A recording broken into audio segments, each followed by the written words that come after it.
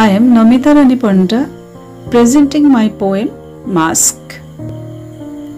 With the makeup of moisturizing powder for natural touch and glow, mascara and eyeliner for enticing brooch, nectar lips with lipstick, lip gloss, and lip liner.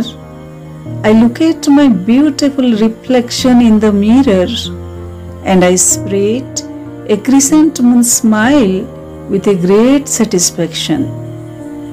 But through the eyes of my reflection peeps my ever active conscience.